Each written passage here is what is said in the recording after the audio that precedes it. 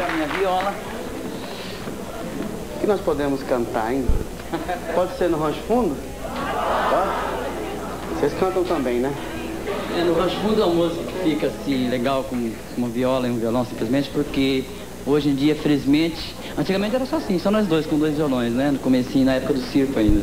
Hoje nós somos em 10 na banda e a gente faz um som assim mais, mais pra uma plateia assim, geral. E vamos de rancho fundo que fica mais gostoso com a viola no violão.